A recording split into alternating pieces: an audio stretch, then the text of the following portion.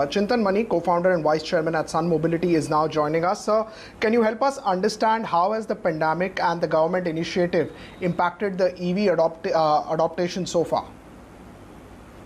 Thanks so much. Um, you know, the uh, pandemic has really shown people that uh, with lesser traffic and cleaner air, what that difference makes. And there is a general adoption, uh, people more interested to adopt to electric mobility on this area. Uh, we're seeing this also largely at a lot of fleet fleet companies, where almost all the large e-commerce players have made announcements that in the next three to five years they would like to go 100% electric on their fleets, because not just from a green point of view, but also give them economic viability on this area.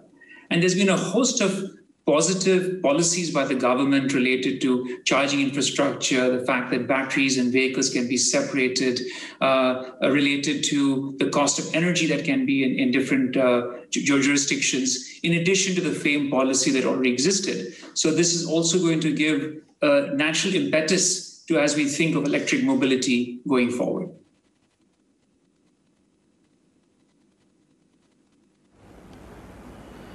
Right. You know, company has uh, a unique adaptation of uh, you know battery swapping concept and smart mobility model. Can you help us understand the our viewers about these concepts? Sure. So, you know, the challenge on electric vehicles is that there's the cost of electric vehicles is very high because the cost of battery. The second issue is this whole thing called range anxiety. If people are concerned, what if they run out of charge, right? And the third area is long refueling time. It takes, you know, five to eight hours to charge an electric vehicle, even an hour maybe to fast charge it. But for a consumer who's, you know, used to refueling in five minutes, it seems like eternity.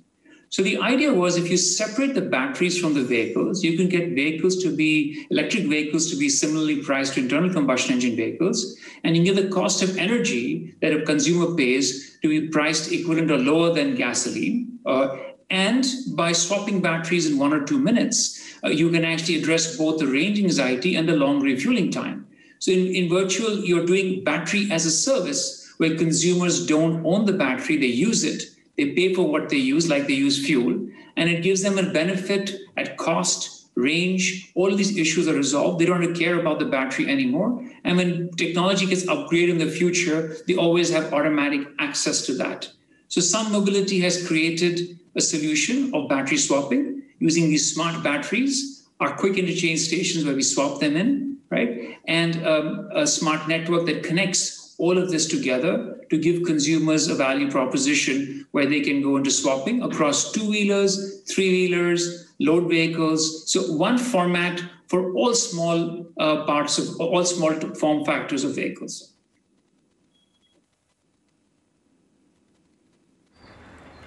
Okay. Um, Chetan wanted to understand recently Bosch also acquired about a 26% stake in the company. How is this going to help uplift the business model knowing that Bosch has a good global reach as well? Yes. Um, yeah, I think there's multiple areas. One, I think there's been a financial investment that helps us to be much stronger as we look at growth plans. But we're looking beyond that. Bosch also has a great network. Uh, it's known as a technology leader. And so we believe that the technologies that we have created and what Bosch brings together can give us an even stronger uh, technology uh, uh, base uh, for the Indian market. And of course, uh, they're a global player. And so we look at this solution going global. And we believe that this, this partnership with Bosch can help accelerate not just our domestic plans, but also our global plans.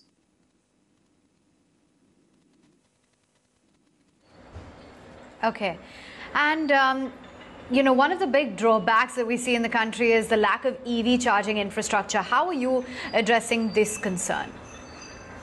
I think it's a very important point. So, what we've done is uh, a couple of months ago, we announced uh, that we had partnered with Indian Oil Company. Uh, as you're aware, uh, IOCL has 30,000 outlets across the country. We've already set up our first 20 stations at different Indian Oil outlets on this area and we're probably adding another 10 stations in the next month or so as part of our initial pilot.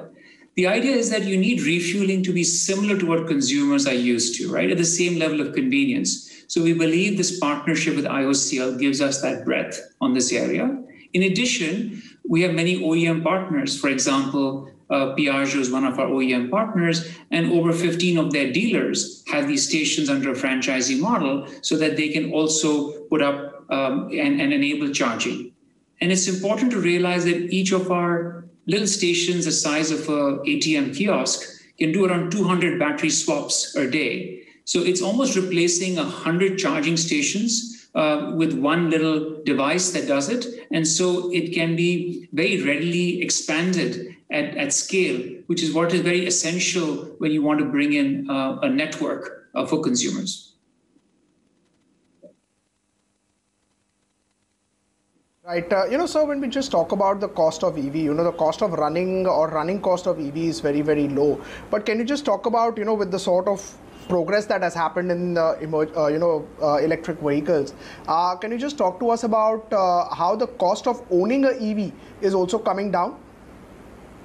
So the, the, there's if you think of owning of of an electric vehicle, there's of course the purchase, the energy, and the maintenance, right? So the purchase price, if it's with batteries, of course, is higher, but then the cost per kilometer could be six or eight times less. If you use a business model of swapping, the vehicle price may be 10% less and the cost of energy may be 20% lower on this area. And then the maintenance would probably be around 40% less uh, because you don't have all these moving parts uh, or oil changes or filter changes that you typically have on internal combustion engine. So over a five-year period, you're probably thinking at least uh, overall 30% savings in your total cost of ownership, which can be quite significant for an end customer.